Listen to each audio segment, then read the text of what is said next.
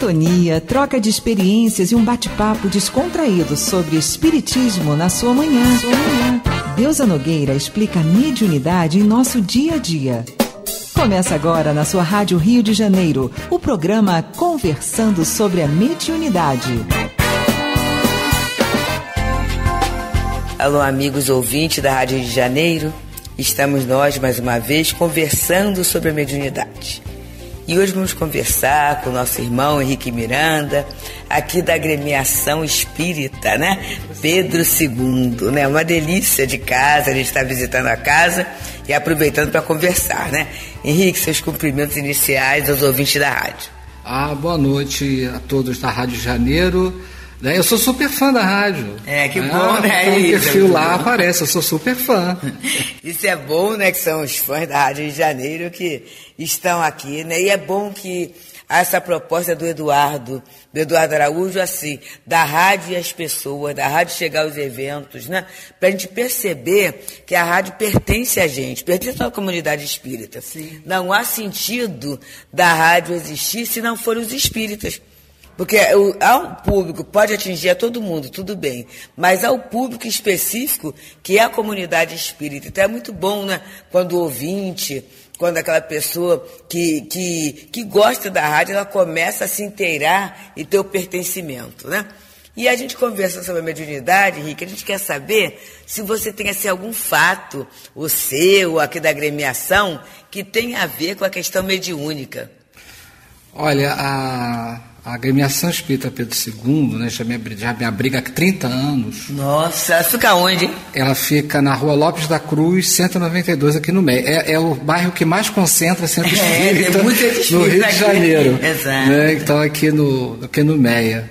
Né? Uma questão, fato mediúnico, assim, que chame muita atenção, é estranho, porque eh, eu estava pensando a mediunidade em si, ela é tão intensa, ela, ela nos hum. permite é, um, uma vivência tão grande de doação que, assim, eu não lembro um fato em si que possa narrar. Exato. Porque as nossas experiências, né, na, na, seja na mesa, na mesa mediúnica, seja em qualquer campo de doação, é intenso. Eu, eu lembro sempre de, de Jesus né, quando ele se dirigia às pessoas, e era um campo de doação tão, hum. tão todo dele, e que a gente não alcança ainda, mas a gente viu o magnetismo, ah, viu o é envolvimento é que ele dava às pessoas e como as pessoas se dirigiam a ele. E a mediunidade é, é este campo, hum. é este campo de doação, de envolvimento. Né? Então, quer dizer, lembrar um fato assim, você me pega de surpresa. Mas aqui na agremiação, como é que funciona essa questão da mediunidade? Vocês têm reuniões mediúnicas? Nós temos reuniões mediúnicas terças-feiras, né? e essa reunião é desobsessão. Hum. Né? E temos trabalho de passe, se bem que é um tanto polêmico, né? Porque Exato. hoje em dia, ah, o médium passista, se bem que eu acho que o passista é um médium. É, pois é, porque... é interessante a gente falar nisso, porque assim, não é, o Henrique, a gente tem é, práticas espíritas. Eu lembro do nosso professor José Jorge, que desencarnou, né? Há um tempo, um grande trabalhador espírita, e eu andei para conseguir palestras dele e tudo isso. Na semana passada eu consegui um companheiro trouxe e brevemente eu vou colocar, a gente vai colocar na Rádio Rio de Janeiro, que é interessante o movimento espírita conhecer esses precursores. Sim.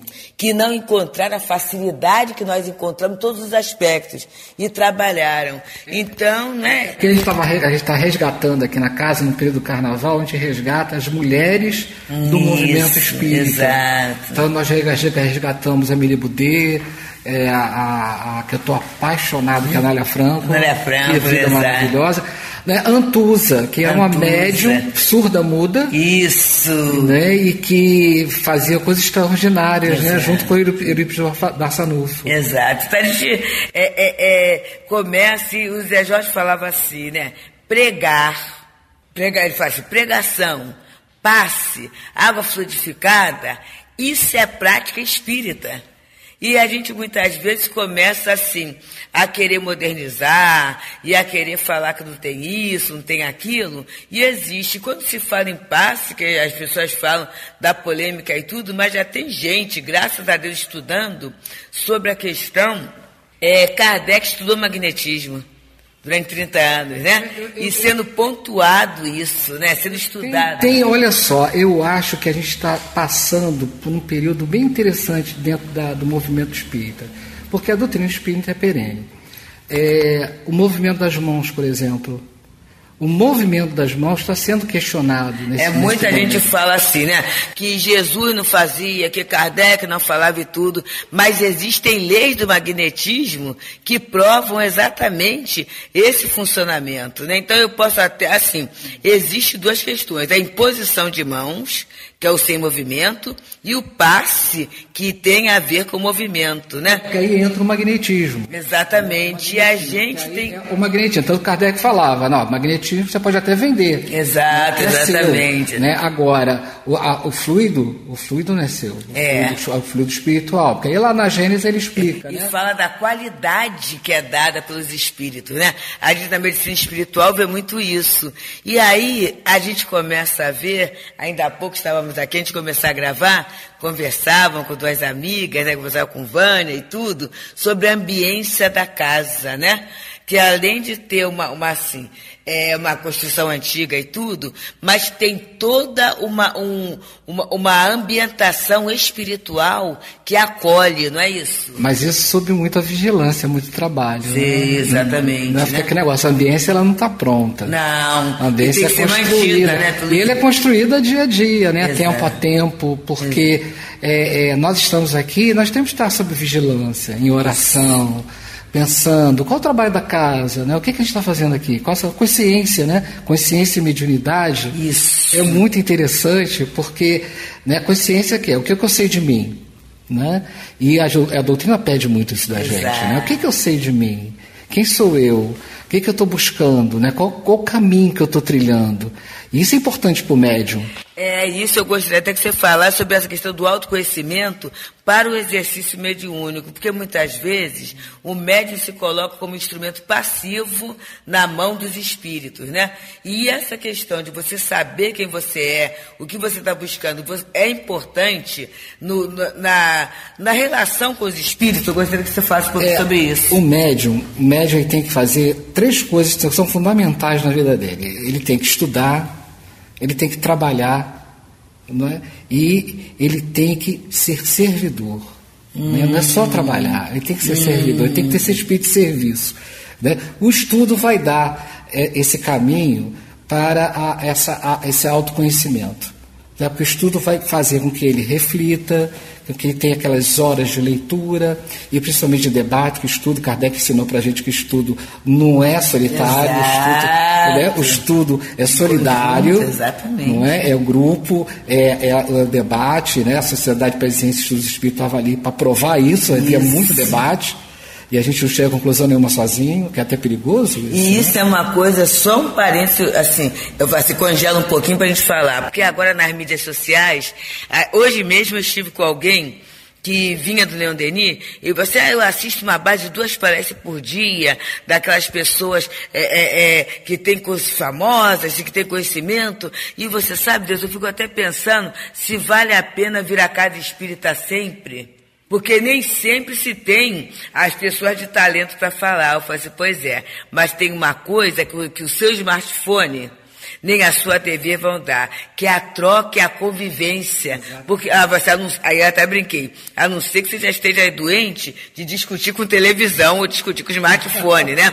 Mas essa possibilidade de troca a gente só tem no conjunto, né? Mas é, é, é aquele negócio, aí você vem à casa espírita, mas o que, que você vai ver? O que, que você vai viver? Isso. Mas o que, que você vai trocar? Porque realmente, você tem uma casa espírita fechada, Isso. Né, e que aí você tem ali né, um, um, um até mesmo um ritual. Isso, Olha só, exato. você tem um ritual né, em que você não pode interagir com o palestrante, você não pode fazer pergunta, não tem estudo conjunto, não tem roda Isso, de conversa. roda de conversa, exatamente. E aí realmente você vai entrar na casa espírita, aí você assiste a palestra, aí gostou da palestra, é legal. É. Né? Acabou, né? E acabou, você vai embora. E a casa fecha. Exato. A casa está aberta para o convívio. Né? Tem o livro até do Mário Barbosa, né, que dá organizado a experiência dele, Conviver para Mais Servir. Exato. Né, que os espíritos têm que ler esse livro, porque né, conviver não é só no SAPS, não. não. Isso também nos no, todos os integrantes, Exato. os médiums.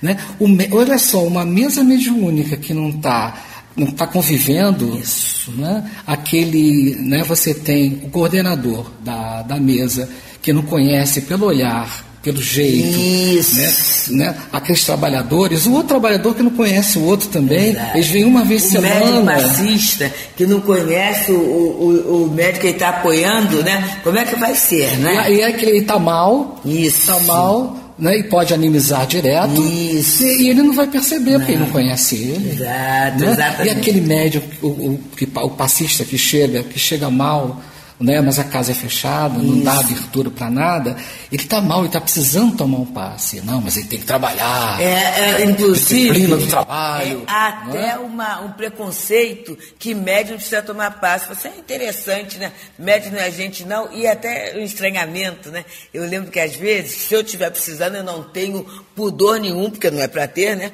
Então sento lá para tomar o passe.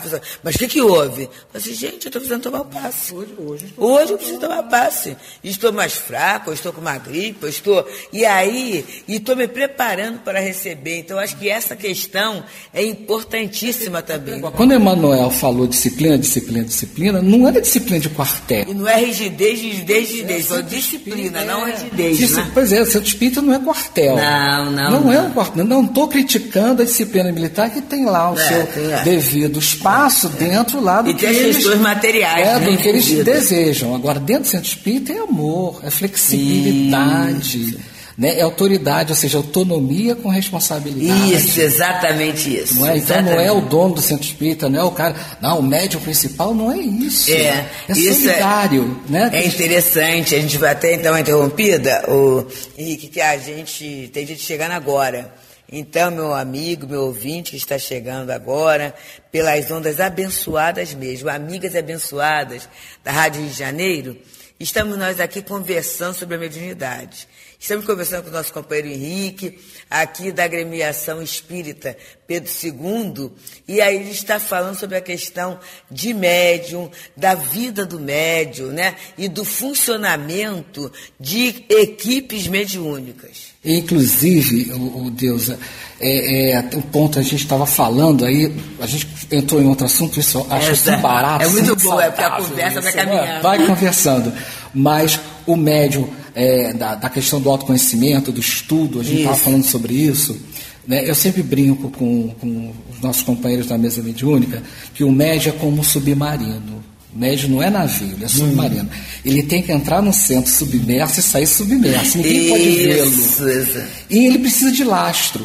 Qual é o lastro do médium para ele ficar submerso? É o trabalho Isso. e é o estudo. Isso. Se ele não estuda e não trabalha, ele emerge. Exato. Porque o submarino né, ele precisa do lastro, cheio de água para né? afundar. Né? Se ele não tem esse lastro de estudo e Exato. trabalho, ele para e fica lá, é dando tchauzinho para todo mundo, a vaidade. É. Que é na né? superfície mesmo da questão, né? Exatamente, ele fica raso. Né? E se ele aprofunda, olha só, o autoconhecimento, ele está ali, não tem distração, ele entra, sai, né? Não chama atenção. Não. Esse é o médium da Exato. casa. É, é interessante, eu estou lembrando aqui, né? É, quem conheceu via que o Altivo era discretíssimo, né? Embora ah, fosse um médio, né? O Altivo foi, foi, um dos fundadores lá do Leão Denis, e aquela equipe toda, a tia Neuza, a tia Elvira, a Gildo, hoje que eles desencarnaram, é que a gente fala assim, meu Deus, médio de uma potência, tudo isso, mas assim, não eram só médios, eu acho muito importante na casa espírita isso. Era tia Neuza, por exemplo, era alguém que estava lá, está no almoço fraterno, estou fazendo almoço aqui, estou ajudando no bazar aqui, estou fazendo. É assim, trabalhadores, que você faz de servidor é muito interessante, é, né? É o servir. Exato. Né? Você sabe, tem casa espírita, e olha só, eu não estou fazendo crítica às casas, Nada porque elas têm a sua né? especificidade. Mas eu vou, às vezes, em casa espírita, a gente faz palestra, e eu vejo assim, lugar reservado para os médiums. Hum. Gente, médium tem que ficar lá atrás, em hum. pé. né? Ou seja, ele tem que, ser, ele tem que dar o lugar dele, né? Não é claro que tem os médicos que não, precisam, podem ficar em pé, ou tem problema de, de, né, de postura, sei lá o que, que acontece, de saúde. E Mas... dependendo até de passe, de exemplo, o Denis tem isso porque a gente não, não tem sala de passe. É, os médicos que vão para dar o passe, aí senta, exatamente. Então, tem Mas ter não uma é casa, por isso. Tem uma exato. casa que ela enche muito isso. e realmente tem que ter um lugar para os médicos ficarem, porque senão os médicos não entram. Não, exatamente, exatamente. de cidade, mas de tomar o cuidado de não ter o lugar de destaque. O privilégio, é, né? Exatamente. exatamente. Isso tem que tomar muito cuidado. Por isso que eu falei, o médium é um submarino. Exato, exatamente. Ele entra, sai, submerso, ninguém notou que ele está é, ali, é. ninguém notou que ele trabalhou.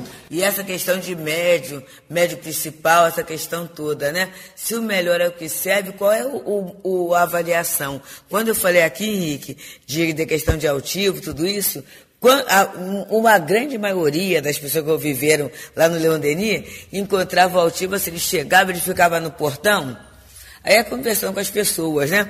E aí o povo conversava, nem sabia o que estava falando, né? Então, uma vez chegou uma pessoa e falou assim, é, pois é, falaram que esse centro aqui é bom, né?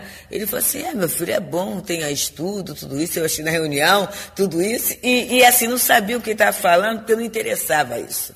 O foco né, não era uma evidência, o foco era o serviço que poderia prestar. E aí, quando a gente vê que os médicos se postaram e se portaram assim, deram certo na vida espiritual, Sim. eu acho que é alguma coisa para a gente parar e pensar um tanto nessas questões, não é?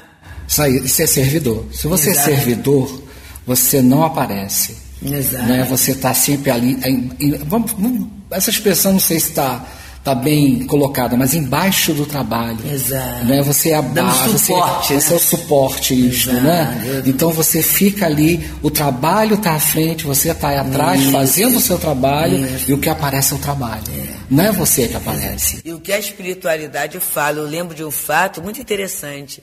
Certa vez o altivo virou, e assim, com dois médios, né? Eu vim do Núcleo Espírita Pedro e Paulo, na minha mocidade, e tive o irmão Walter Faria.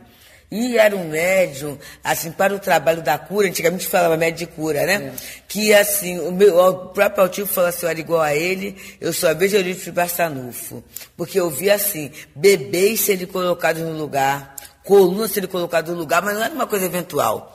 Toda sexta-feira, após a reunião pública, dez gestantes, dez pessoas com problema de coluna, o trabalho acontecia, né? É, é, naquela situação. E ele, uma vez, ele falou assim, agora você veja só, tem fulana, que é uma amiga, que é, é, é uma irmã, eles eram até quase compadres, né? Tudo isso, e que eu gostaria de colocar no serviço porque daria tudo bem. Sim. Mas, obedecendo aos espíritos, eu vou ter que colocar fulano que é uma pessoa que ele, diz assim, hum. se tratava, não, não, não, não tinham muita afinidade, Entendi. mas ele fala assim, mas o trabalho está na frente. É isso então, isso, eu acho que é a postura do médio é, servidor, né? Quer dizer, na verdade, se ele se julgasse o médio principal, essa coisa toda, eu vou botar você porque eu gosto de você, não vai me dar problema, você é muito bom. Mas se o médio é intermediário, ele vai fazer aquilo que é melhor para o trabalho, né, gente? Exatamente. É, é isso. Você sabe que aqui, há uns 30 anos, apareceu um médio cura. Ah. E a nossa presidente encaminhou ele para outro lugar. Ah, porque não era, não era. Não era o foco do trabalho, né? né? Depois você descreve, né? a gente não tem como descrever né, pela rádio o tamanho, a casa Exato. pequena. Apesar de ser grande, a casa é, tem uma extensão. É, tem muito terreno. Deus é foi lá atrás, voltou, mas é uma casa que tem dimensões pequenas, né, poucos trabalhadores, poucos frequentadores. Né, um médico cura que ia realmente é, é, né, não, transformar o trabalho, ia dar um outro perfil de trabalho, uma casa que não é que não seria o ideal. E aí você falou uma coisa interessante que Kardec fala no livro dos médios, Henrique, que é a coluna de espíritos que dirige a casa.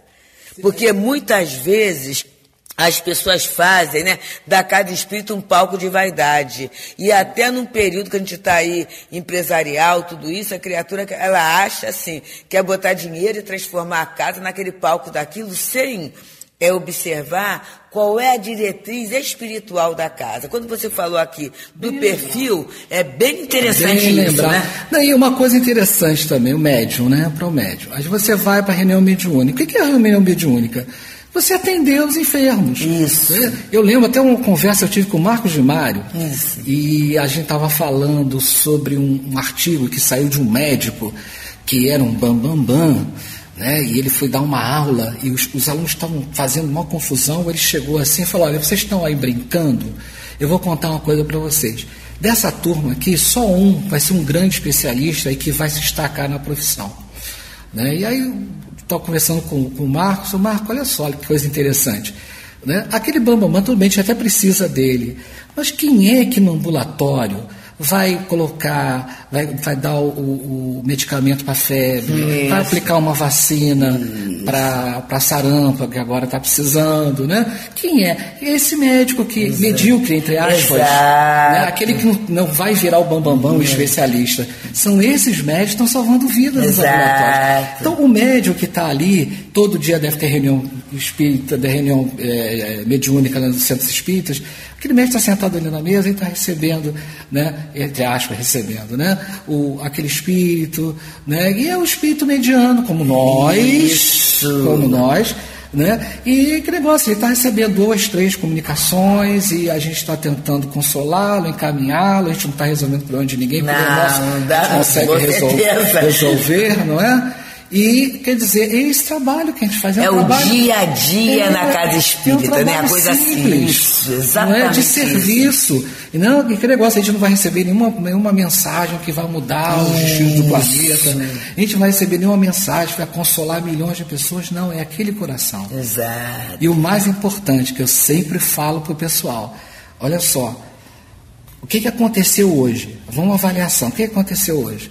Aí, se você disser que não aprendeu nada, ah, então você perdeu o tempo. Exato. Meu amigo, você viu a reunião já à toa. Olha, eu estou lembrando, você está falando lição. uma coisa interessante, que o Altivo chegava a gente lá e falava assim, ah, Altivo, eu sou médico, quero fazer a caridade. E você, olha só, vai chegando, vai estudando, né? Vai para reunião pública, daqui a pouco você começa a dar o seu passe, né? E vai devagarzinho, mais tarde é que você vai pensar nesse sentido da caridade. Ele colocava isso, era uma forma assim, da pessoa baixar um pouquinho e da pessoa perceber desse dia a dia na casa espírita, senão vira estrela. E por isso a gente sempre fala, é, ainda há pouco, a gente conversava com o Pereira, falava da reunião de quinta-feira. Eu você, ah, mas quinta não dá, porque é o dia que tem o estudo no Teresa Dávila. Hum. Porque também muitas vezes a criatura fica tão empolgada com muitas coisas que ela acaba é, se afastando do dia a dia da casa espírita. É. E é muito importante que ele tenha esse pertencimento, né, Henrique? Pois é, como é que é o dia a dia da nossa casa? Exato. É limpar, é passar, Isso. é fazer a comida, é. é o arroz com feijão do dia a dia. É aquelas tarefas que só se percebe quando não é feita. Exatamente. Né? Espírito é a mesma Exato. coisa. A gente vem e aí vai ajudar os espíritos sofredores, a nós, que isso aí subtende a nós, né? E aí a gente vai fazer a cesta, e aí vai fazer a sopa, e vai limpar o centro, Exato. né? Porque a gente não tem empregado. Exato, não tem, exatamente. e a gente vai cuidar desse, desse cotidiano rico, Exato. né? Pensa na vida de Jesus. Exato. É no cotidiano rico, simples, é. onde ele estava com as pessoas, resolvendo o problema das pessoas, quer dizer, ele, indicando para as pessoas como resolver caminho, os problemas. Né? né? E, e, esse é, é, o serviço, este é o serviço da Casa Espírita, esse é o serviço mediúnico. Exatamente. É o de servir, é o cotidiano simples, é o serviço de ambulatório, você vai colocar a compressa fria na, na testa para baixar a febre, vai, fazer uma, vai dar uma palavra de, de conforto. É isso, isso é mediunidade. E aí, Henrique, a gente foi, chegou ao final do programa. Foi muito rápido, né? Muito rápido mesmo. A gente agradece muito a você, as suas despedidas para os amigos da rádio. Não, como super fã, olha, um abraço a todos, eu sou amigo ouvinte, vamos ouvir a rádio, a rádio que toda a família pode ouvir, Exato. como falava o querido Gerson. Tá, muito obrigado, Deusa. Obrigado, Henrique. Obrigado, amigos que estiveram conosco durante esse tempo. Que o dia possa ser de muita paz e que a gente possa pegar o nosso servicinho na certeza que mediunidade é simplicidade, é crescimento, é humildade, é comunhão, é compartilhamento. Muita paz. Alô, amigos ouvintes da Rádio de Janeiro. Deusa Nogueira explica a mediunidade em nosso dia a dia. Programa Conversando sobre a Mediunidade.